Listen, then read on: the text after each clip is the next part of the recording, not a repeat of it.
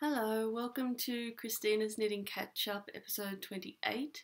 Today is Sunday, the 21st of February 2016, and uh, it's a bit of a cloudy day here in Canberra. And I'm recording from my bedroom today just because there's a lot of stuff going on in our house, and uh, it's quiet up here, so I'm doing this. Um, I haven't recorded in two weeks now um, because a lot has happened and I've been pretty sick. You can hear I'm still sick. Um, but here we are. I've done a lot of knitting, so I'm looking forward to telling you all about it. So you can find me on Ravelry as Chrissaah. That's C H R I S S A A H, and um, Cutieful Christina on Instagram. And I have a Etsy shop called Cutieful Yarns where I sell some hand dyed stuff. okay, so at the moment in my Ravelry group, which you can find as uh, Christina's Knitting Catch Up, I'm hosting a knit along, which is our deep stash knit along, where the requirement is to knit with uh, some yarn that is over six months old. And uh, we've got a few finished objects already in the thread and the knit along goes until the 15th of March and uh, I realized I've left my finished object over there but let me show you one of the new prizes. Uh, this was a prize kindly no donated by Katie from Knit and Stitch Bits which is an Etsy shop that sells project bags and other type goods. Here's her card. Knit and Stitch Bits, Katie. And uh, she sent as a prize for this knit along this lovely project bag, which has a zip here. It's got her little tag. And it's lined with some cool spotty fabric and it's just a lovely size for uh, probably you could fit some socks, uh, a hat, maybe a shawl in here. Lovely medium sized project bag. And she also sent with it a keychain that says yarn on there. So I thought I'd offer these as a sort of prize pack. So if you enter a finished object into the thread, um, you'll be in the draw to win this and also some other stuff from me. Um, yeah, it looks to be a lot of fun. I thought I'd also offer as a prize my pack of mini skeins. Sorry, you can't see it all that well. I might turn this so that I'm more in the light. and I hand dyed these mini skeins and they're available in my shop as well if you want to get them. Uh, yeah, so that's that's our knit along that's happening right now. So just hold on one second, I'll get So I have a finished object and it's this hat. And oh the brim doesn't want to stay up. It stays up when it's on my head. But um it's a floppy kind of yarn. This is my hat. It it is knit out of Berroco Folio yarn, one skein. I only had a tiny bit left over. I could have used the whole lot, but I got sick of it. Um, which is, it's supposed to be a DK weight yarn, but it's really more like a fingering. It's very thin and um, floppy. So I knit this hat top down, started at the top and knit down. I just um, made it up as I went along, essentially, and uh, stopped when I thought it was long enough. And the pom pom is made out of one mini skein by Tumuck Valley Yarns, which I've had in the stash for a while. So I bought this yarn, this blue yarn, over a year ago when I went to Chicago in 2014. I was really sick at that stage um, with my appendix, but anyway, I got this yarn and it feels pretty nice. I thought it might be too thin, but it's not. It's really pretty good. Um, yeah, so that's my finished object for my knit along. I might do some other stuff, but we'll see how we go. I've got a few things to finish before I can cast on anything else new. Ah, I have my um, wheat bag which has been warmed up and it's just nice styled against my poor face. Ah. So, works in progress. I've got three to show you. The first is this jumper that's inside out for my husband. So here it is so far.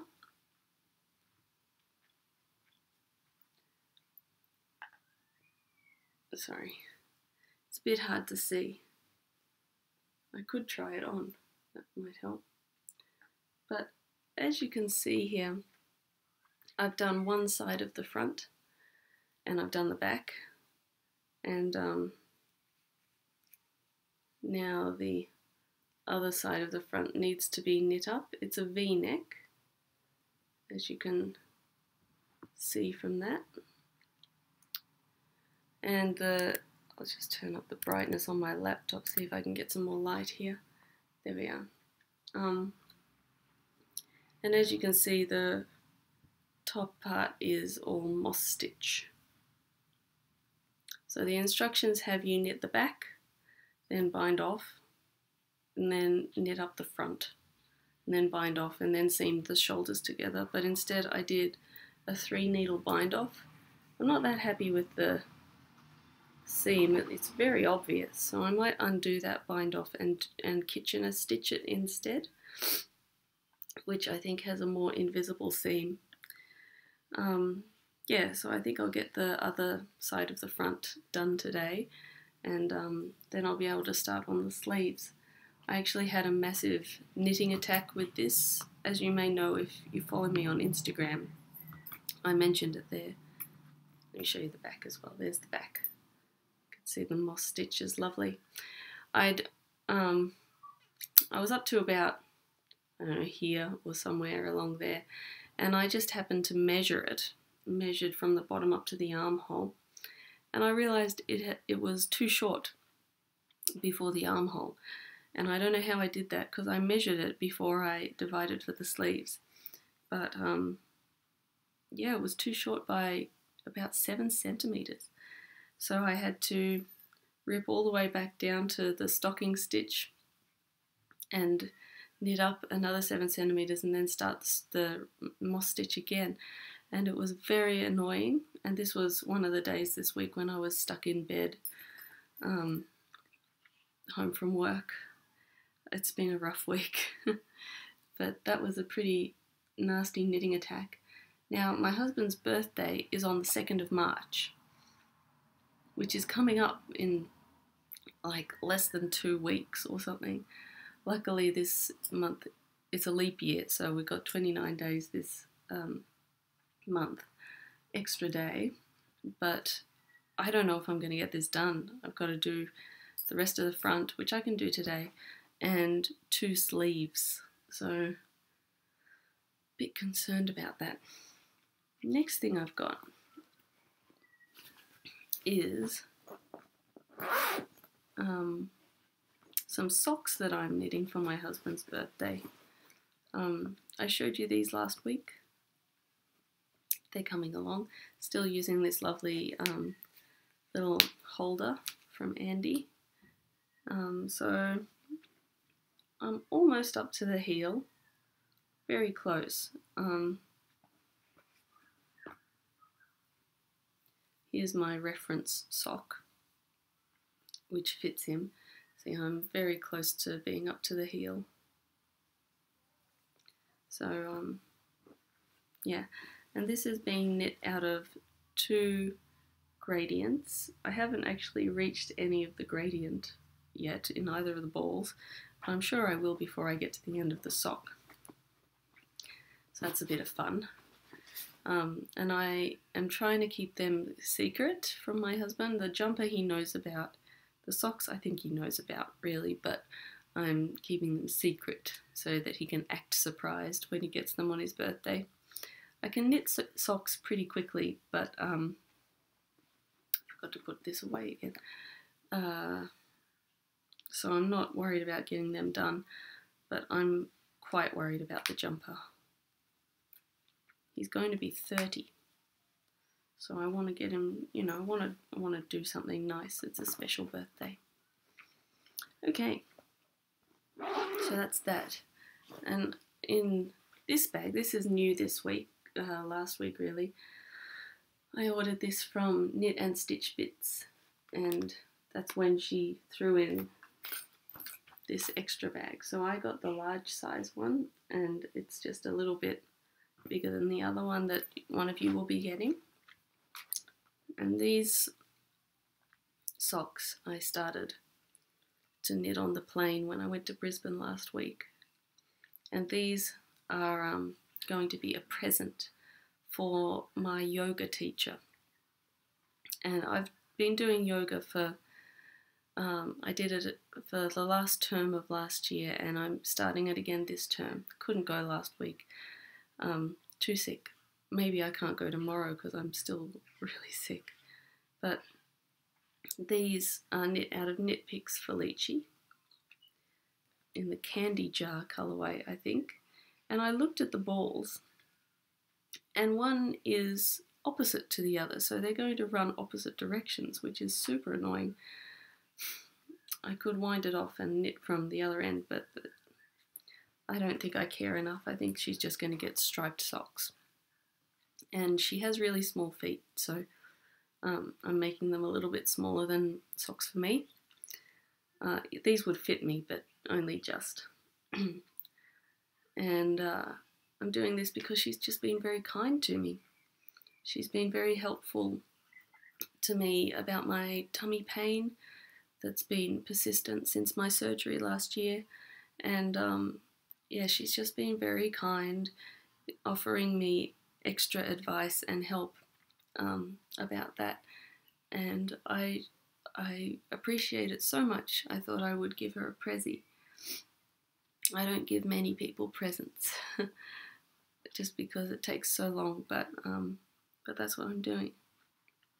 Okay, so that's all my knitting really. I'm really working hard on that jumper to get that done. I love this. Okay, so I just wanted to tell you a little bit about what's in my shop right now. I've sold a few things. Thank you so much for your support. If you've bought things from me, I just, I really appreciate it. Um, I haven't been doing much in the way of putting new products in there, but I, am too sick. But um, but I will get back to it, and when I do, um, you'll see a whole lot of new things. I've got a lot of ideas, but at the moment I've only got two big skeins left, and they look similar, but they're a bit different. One is a grey base with green and blue and black spots, and the other is a blue base with blue and black spots. They're my big skeins, and this is, of course, my mini skein set, and I think I've got four left or five left of these. So go ahead. Um, I'm thinking because these have been sitting around in the shop for a while, I might cut the price and put it a couple of dollars cheaper because I just want to sell them and I get rid of them. Okay, so I was going through my bookcase and uh, hoping to get rid of some stuff, and I found this lovely book which I really like um, that I just don't want anymore. So I thought I would do a little giveaway. So if you want this book, head over to the Ravelry group and um, there will be a thread there. Let me just show you this book a little bit. Um, modern knits vintage style and the idea is they take an old vintage design and modernize it. This is one that I really like. The cherry cardigan. Is that what it's called? Cherry short sleeved cardigan. I nearly made that. I bought the yarn and everything. I swatched. I don't know why I didn't. I think it was because I didn't like the yarn in the end. The other one I really like is this one called the Favorite Cardigan. I just think that's nice and simple and beautiful. And I think that that also goes by the Pippa cardigan on Ravelry. I found that there. and it's got a whole lot of uh, other type jumpers and and um, lots of accessories, poncho, skirt, um, some really interesting things. This is the one that I really like. I really like this capelet. I think that's gorgeous. But anyway, I thought I would give this away because I'm not using it and I thought someone else might like it. So if you go to my Ravelry group, um, you'll find a thread called Modern Knits Vintage Style Giveaway. And I would like you all to answer a prompt, which is what vintage fashion trend do you think should be brought back? So it could be anything like flares from the 1970s and 60s, or, um, you know, Elizabethan ruffs. I don't think that that should come back personally, but you know, whatever floats your boat. Uh, what about lovely gloves to be worn whenever you go out? Things like that. I would like to know what you think should be brought back in fashion. Um, and I'll just do a random number generator and I'll pull out a number and someone can have this. And I don't mind where you're from, you can be from overseas or not. And um, yeah, happy to send that anywhere. It's a lovely book. I just am not using it. So if you want it, you can have it. Um, let me think.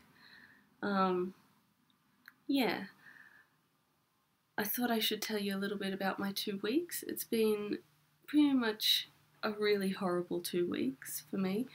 Um, as as you know, we had to go to Brisbane for a funeral. That was Friday, not last week, the week before. And we flew to Brisbane, and on the way there and that back, I knitted this sock. Um, I'm not very good with planes. I get very stressed on planes, but but it was nice to have some knitting to do. And I pretty much did all of this on on the two flights, and I haven't touched it since, just because I've been knitting this uh, jumper feverishly. Um, I think it's really pretty. Something I didn't mention before, and other people have mentioned this on their podcasts, but there's a little bit of color uh, from the darker stripes appearing on the lighter stripes. So there's a little bit of the pink. Um, you can see there, it just kind of looks a bit muddy. There was a green spot somewhere. Oh yeah, there is a green spot there. Just looks a bit mucky and and not ideal. I don't know if you can see those very light pink rose. Anyway, I don't mind that much. It's not a huge deal. But um but I think that's a bit dodge. I don't know how that happened. Like hmm. anyway, uh, so I knit those on the on the planes, which was good. And uh, yeah, the time in Brisbane was okay, very sad and and everything, but it was nice to see family. Um, yeah, I don't want to go into that too much. Um, but anyway, got home on we we flew down Thursday afternoon, came back Friday afternoon, so just one day away, and went to bed. And Saturday morning, I woke up with this terrible sore throat, and we had to play at the Multicultural Festival that day, as I mentioned last time. And so I had a Panadol, and off I went to, and a Sudafed, I think, as well. And off I went to play steel pan at the Multicultural Festival. It was really fun. It was ex- extremely hot though, so um, I uh, had a hat, a really big hat, sunglasses, sunscreen all over me. Um, but we were full in the sun, at least for the first part of our set and uh, steel pans that are sort of this shape. very reflective, and it was like a little oven in there while I was playing. Like my hands were 10 degrees hotter than the rest of me. Um, but it was fun, and we played, and it was great. And um, then we hung out with some friends for a while there while I was getting sicker and sicker. And then we went home, and I pretty much went to bed and got this terrible cold. And um, I was sick, too sick to work on Monday or Tuesday, so I stayed in bed those two days. Wednesday, I went into work, but I had a blocked ear feeling. And um, my blocked ear got worse and worse. And that night, at about three o'clock in the morning, I felt a pop and I felt a whoosh, and my ear was bleeding. And I felt I, you know, got a hanky and it was blood. So that freaked me out because I knew that it would be my eardrum uh, popping because there's nothing else that could happen in there from a blocked ear. So, first thing Thursday, I went to the doctor. I couldn't work that morning. I went to the doctor. The doctor was very reassuring, saying that it's not going to permanently damage my hearing or anything like that. It's just um, a perforated eardrum and it heals itself. But she said I'm not to let any moisture get into my ear and I'm not allowed to touch it and I have to have antibiotics. So I started on these antibiotics. I went to work on Thursday afternoon and I went, uh, I didn't work Friday. Oh, yes, I did. I did a bit of teaching on Friday to catch up. Uh, so I've been on these antibiotics since Thursday night. Uh, Thursday, Friday, Saturday, and now it's Sunday. And I'm starting to get some bad reactions from this drug. I've got an amazing headache that started last night and it's not stopping. I've had Panadol, it's not going away. And I have some other bad reactions that I won't go into because they're disgusting.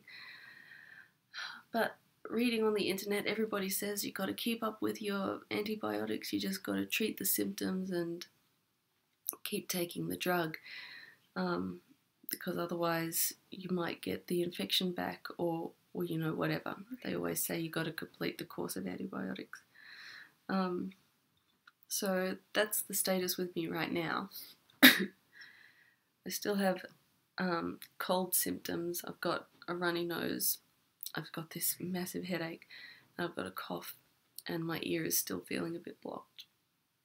Um, so things aren't that good. I don't know if I can work tomorrow if I'm feeling like this. Um, yeah, um, not that good. But over the past few days, I have been enjoying watching the Great British Bake Off. We downloaded a couple of series to watch while we're sick. My husband's sick too. I gave it to him, of course, um, although he's not as bad as me um, yet. I don't think he will get as bad as me because he doesn't have ear problems like I always do. Um, yeah, we've been watching The Great British Bake Off, which is a lovely show. I really enjoy it. Um, lovely people, interesting food. It. Um, I'm not a baker. Um, I'm a sewer. I, I watch The Great British Sewing Bee instead of the Bake Off usually. But um, yeah, it's been really nice to sit and watch that while while you're feeling poorly. Um, yeah, and I've been trying to sort of go for walks and stuff to get the coughing moving and everything instead of just stagnating. And I want pneumonia. So yeah, things are, things are not good here. Um, but I have to keep reminding myself that they will end. My antibiotic is causing me particular problems, I think, but and that's a 10 day course, and this is day three. So if I'm already feeling this sick, I don't know how I'm going to go in 10 days. I might see if I can get a replacement antibiotic because this is just making me feel really sick. Um, yeah, so I think that's basically it for this week.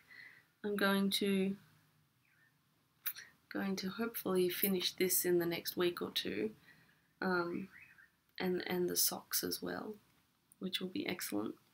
And uh, yeah, that's pretty much it. I hope you have a really nice week. Hope you're feeling better than I am, and do lots of knitting and things that you like, and check out the Bake Off because it's lovely. Okay, talk to you later. Bye.